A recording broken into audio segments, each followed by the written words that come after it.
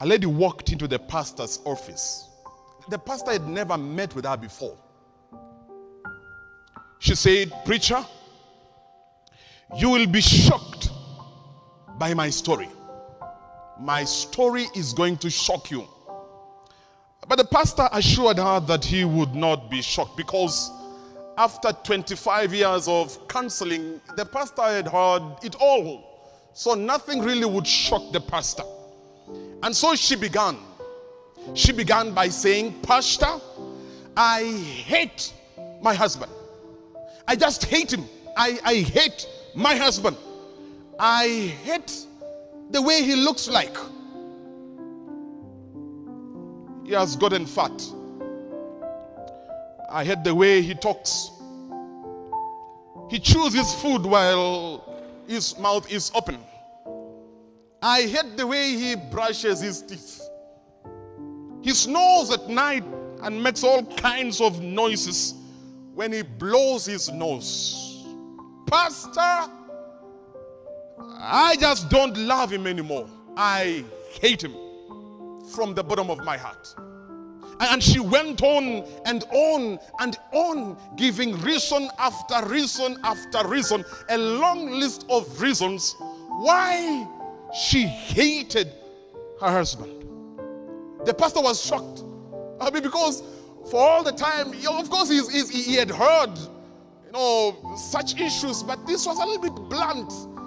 It was scathing and it was really cutting deeper as she made the comments.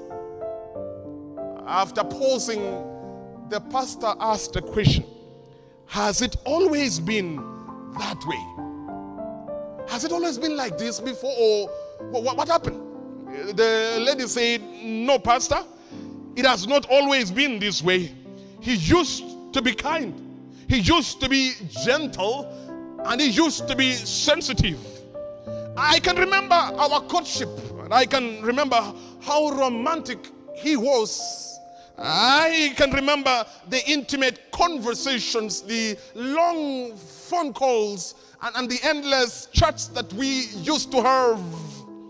I remember the dinners and the candle lights. I remember our wonderful wedding and our honeymoon, a very exquisite you know, event. I remember those early years of struggling together with that man when we were having children and we didn't have enough money, but you know, we would be able to manage and navigate through the issues of life together. Uh, there were good times. I miss those days.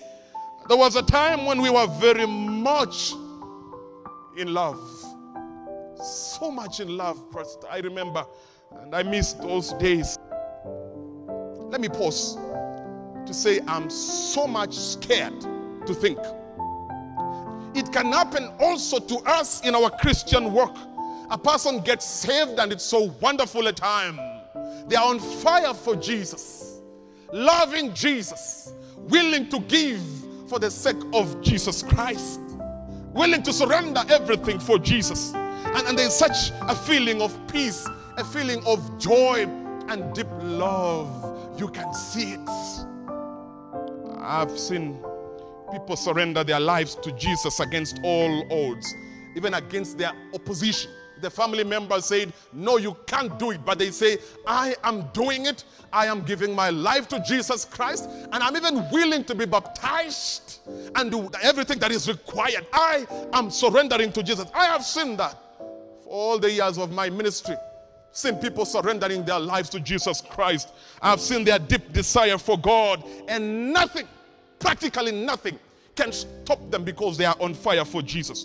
But, but you know what, my friend? There comes a time or season that we begin to lose a zeal uh, that we had as we were new believers. We, we start losing it, we start relaxing it, and our relationship with Jesus Christ starts to become stale.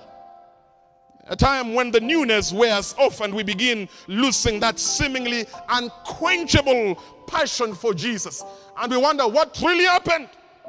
Things become stale and we do everything we are supposed to do because it's an obligation. I'm required to pray. I'm required to go to church. I'm required to hold devotions. I'm required to, it's, it's just an obligation, but, but there is no communion, there is no connection, there is no fervency, there is no fire between you and Jesus Christ because we've lost the excitement. We've lost the passion.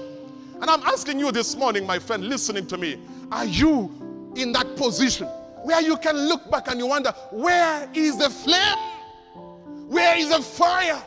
Where is the love? May God bless you, my friend. May He touch you this morning. And I want to pray with you. Let's pray together. Dear loving Father, we thank you so much this morning. We thank you, God, for challenging us this morning that we've got to remember. Because you miss us so much. God, you miss the first love. You miss our devotion when we were willing to give everything, to surrender everything to you. But God, along the way, we got distracted and we've wandered far away from your presence. But this morning, God, you are asking and you are inviting us to remember, to repent, and to return. Accept us, Jesus, just as we are.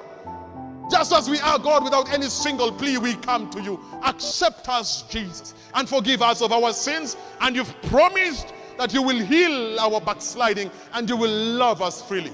Bless us, God, and touch our lives this morning. This is our prayer, trusting and believing in the mighty name of Jesus Christ. And may we shout a big amen. Amen.